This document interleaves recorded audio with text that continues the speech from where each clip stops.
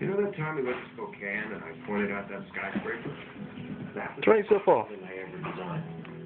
And that night was the first time I showed anyone the first drawing. Yeah, this is amazing. How do you like that bath? Dry yourself off again. Dry yourself off.